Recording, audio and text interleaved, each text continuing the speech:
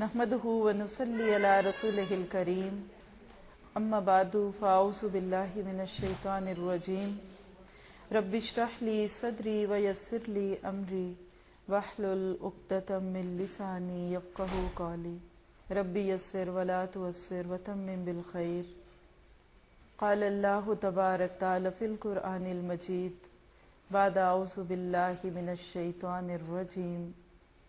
शैतानिर रजीम व मिन आयातिही अन खलक़ लकुम मिन अनफुसिकुम अज़वाजा अज़वाजल लितस्कुनू इलैहा वजअल बैनकुम मवद्दतन व रहमा इन फ़ी ज़ालिका लआयातिल लिक़ौमी यतफ़क्करून सुबहान रब्बिका रब्बिल इज़्ज़ति अम्मा यसिफून व सलामुन अलल हर किस्म की तारीफ़ अल्लाह वक्तहुल शरीक के लिए है। जिसने हमें आज मौका दिया कि हम उसके कलाम से और उसके नबी सल्लल्लाहु अलैहि वसल्लम की अहदीस की रोशनी में एक ऐसे मौजू पे बात करेंगे कि जो हर औरत का मसला है, हर बच्ची का मसला है, हर मर्द, हर लड़का। यानी ये एक ऐसा मजमून है कि जिसमें सिर्फ़ एक इंसान का ही फ़ायदा नहीं होगा, बल्कि पूरे पूरे ख़ानदानों का फ़ायदा होगा।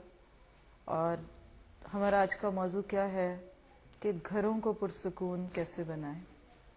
घर का सुकून कहाँ से आता है? कैसे आता है? क्योंकि आज के दौर में मैं देखती हूँ कि जहाँ हमारे पास खूबसूरत घर हैं, लेकिन वो इमारतें तो खूबसूरत हैं, लेकिन घरों में रहने वाले आपस में खुश नहीं।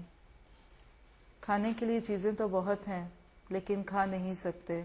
दिलों के अंदर वो मोहब्बत नहीं, वो सुकून नहीं, वो खुशी नहीं जो वाकई घरों को जन्नत बनाता है।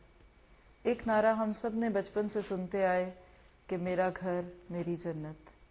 होम स्वीट होम लेकिन असल में घर कौन सा जन्नत नुमा घर होता है इन ताला आज हम अपनी इस नशिश में देखेंगे। और फिर इसकी रोशनी में हम देखेंगे कि क्या वाकई हमारे घर जन्नत हैं। और अगर नहीं है तो जो पॉइंट्स हम यहाँ डिस्कस करेंगे, उसी की रोशनी में देखेंगे कि कमी कहाँ है। कहाँ पे इसलाह की गुंजाइश है और मेरे घर की बेसकूनी में मेरा दखल कहाँ तक है। अमूमन ऐसा होता है कि इस तरह की बातें सुन के खातन हमेशा अपने आप को फ्रंट लाइन पे खड़ा कर लेती हैं। और हर बेकायदगी और हर बदनज़मी और बेसकूनी की वजह शोहर को गर्दानती हैं कि चूँकि ये मेरे साथ तामन नहीं करते, अभी मैंने आपके सामने सूरत और रूम की एक आयत पढ़ी है। मैं चाहूँगी कि हल्का सा उसका तर्जमा आपके सामने रख के फिर उसके बाद बाकी बात जो है उसी की रोशनी में बढ़ाएँगे। अल्लाह सुबहान फरमाते हैं व मिन आयाती ही और ये उसकी निशानियों में से है। किसकी? अल्लाह की निशानियों में से है। और निशानी क्या चीज़ होती है? बड़ी अहम चीज़ होती है। कोई निशानी होती है तो उसको देख के हमें फलां याद आ जाता कोई हमें कोई तोहफे में चीज़ देता है और कहता है कि ये मेरी निशानी समझ के रख लो। क्यों? कि चंद साल के बाद भी तुम इस चीज़ को देखोगे तो तुम मुझे याद करोगे। तो अल्लाह ताला सुबहान ताला का ये फरमाना कि ये मेरी निशानी है तो हमें एक सोच की दावत देता है। और वो क्या है? कि अल्लाह को याद किया करो अपने घरों को देख के। ज़रा सोचो तो सही। अगर अल्लाह ये जोड़ ना जोड़ता, ये घर ना बनाता, न तुम्हें यहाँ बसाता तो कौन था जो तुम्हें देता? क्या माँ बाप में से कोई? भाई बहनों में से कोई? दुनिया की कोई ताकत किसी के घर को बना नहीं सकती जब तक अल्लाह का हुक्म ना हो। एक उम्र का तवील हिस्सा गुजर जाता है और घर वाले परेशान रहते हैं, रिश्ता नहीं मिलता। बाज दफ़ा बने हुए जोड़ टूट जाते हैं ये खालिश सरासर मेरे ऊपर भी और आप सब पे अल्लाह की रहमत है कि हमारे घर बने हुए हैं। वह मैं ना आती ही। कितनी दफ़ा हमने अपने घरों को देख के रब को याद किया? कितनी दफ़ा अपने शोहरों के चेहरों को देख के हमें रब पे मोहब्बत आई? कितनी दफ़ा उनकी मोहब्बत के जवाब में उनका तो शुक्रिया बोला, लेकिन रब का भी शुक्र किया कि अल्लाह तेरा शुक्र तूने इस शख्स के दिल में मेरी मोहब्बत डाली। तूने इसको मेरे लिए इस तरीके से कर दिया कि ये मेरी हर खुशी, गमी का शरीक बन गया। तो लिहाजा पहली बात जो हमें इस आयत से पता चली कि हमने अपने घरों को और अपने जोड़ों को देख के रब को याद करना है। दिल में शुक्र के जज्बात हों, वह ना आती ही, और ये उसकी निशानियों में से है। क्या? अन खलकुम कि उसने पैदा किया तुम्हारे लिए। कहाँ से पैदा किया? मिन अनफुसिकुम। तुम्हारा हम जिन्स। इस बात पे भी शुक्र करो कि उसने तुम्हारा हम जिन्स, अजवाजन, तुम्हारा जोड़ा पैदा किया। कभी इस पे गौर किया हमने? औरत का जोड़ा मर्द। जरा सोचिए, वो क्या शादी होती कि औरत की शादी किसी जिन से हो जाती? जरा एक लम्हे के लिए सोचिए। कहीं शादी है और पता चले लड़की तो है, लेकिन मुकाबले में घोड़ा है। सोच के भी इंसान की सारी हिस्सियात बेदार हो जाती हैं, ये सोच के कि कभी इस पे सोचा भी नहीं कि अल्लाह ने हमें मर्द दिए और मर्दों को बीवियाँ दी, औरतें दी। क्या मुमकिन नहीं था बेजोड़ शादियाँ हो जाती? अल्लाह ने तो दिया मर्द और औरत का जोड़ा, लेकिन आज इंसान जहाँ दूसरी जगह भटका, उसने इस मामले में भी गलती की। और अल्लाह ताला की ये बात सच कर दी कि लक़द खलक नल इंसान अफ़ी अहसनी तकवीम तुम मरदत ना हो असफल साफिलीन।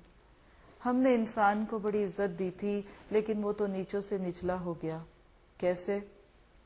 अगर मैंने खुद वो चीज़ न देखी होती और रिपोर्ट न पढ़ी होती तो मैं कभी इस चीज़ का यहाँ तस्करा न करती।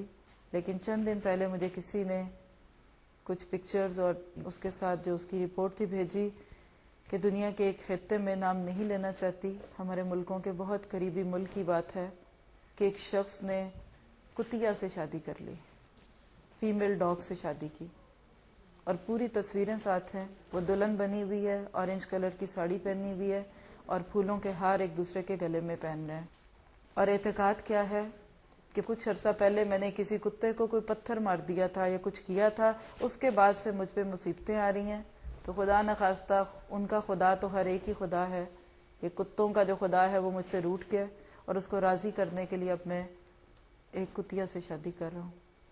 अल्लाह ताला फरमाते हैं, खलक लकुम मिन फुसिकुम मैंने तो तुम्हारे नफ्सों से पैदा किए, तुम जहाँ भी गिरना चाहो तो गिर जाओ, लेकिन ये अल्लाह की बहुत बड़ी रहमत है। हम जिन्स, फिर आप देखिए कि हम मिजाज मिल जाए तो ये तो सोने पे सुहाग है। सोच मिलने लगे अंडरस्टैंडिंग होने लगे। दुनिया की कोई ताकत है, हमारी सारी कोशिशों के बावजूद अगर शोहर और बीवी के दिल में मोहब्बत डाल सके। बीवी कितनी ही हसीन क्यों ना हो, कितनी ही दौलतमंद क्यों ना हो। अगर अल्लाह मोहब्बत ना डाले तो मोहब्बत नहीं डलती। सूरत तौबा में अल्लाह ताला फरमाते हैं कि वलन फ़क तमाफ़िल ज़मीन अगर तुम दुनिया का सब कुछ खर्च कर दो कि किसी की मोहब्बत ले लो, तुम नहीं ले सकते। ये अल्लाह है जो मोहब्बतें डालता है। बड़ी हसीन सूरतों वालियों को रोते हुए देखा। माँ बाप की अखलौती लाडलियों को घरों में आके वापस बैठते देखा। हर तरह की मिसालें मौजूद हैं। बड़ी बड़ी सुघड़, बचपन से घरदारियाँ संभालने वालियाँ, शोहर को एक आँख न भाई। ये सरासर उस मालिक की रहमत है कि उसने शोहरों के दिलों में बीवियों की मोहब्बत डाली। अल्लाह ताला तो फरमाते हैं कि मैंने तुम्हारे लिए एक जोड़ पैदा किया जो तुम्हारी ज़ात में से है। अब आगे असल वजह पता चलती है शादी की। हम सब की तवज्जो की मोहताज। शादी का मकसद क्या है?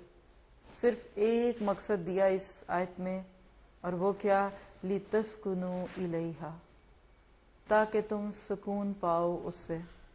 अब अरबी की ग्रामर की बातें करने का वक्त तो ये नहीं है, लेकिन यहाँ असल में मर्दों को कहा जा रहा है कि तुम्हारा बीवियों से सुकून पाना इलेहा मुअन्नस की ज़मीर है। यानी मुझे इस आयत का समझ क्या आती है कि एक औरत जब एक मर्द के निकाह में आती है तो मर्द को जो उससे चाहिए वो एक लफ्ज है और वो क्या है? सुकून। वो सुकून कई रंग का हो सकता है। वो उसकी जिस्मानी ख्वाहिश पूरी करके उसको जिनसी तौर पे मुतमिन करना भी हो सकता है। वो उसके घर को साफ़ सुथरा रख के उसकी एक ज़िंदगी के कामों में उसको पुरसकून करना भी हो सकता है। वो उसके लिए खाना पका के, उसके पेट को भर के, उसको जिस्मानी तौर पे ताकत दे के सुकून देने का बायस भी बन सकता है। और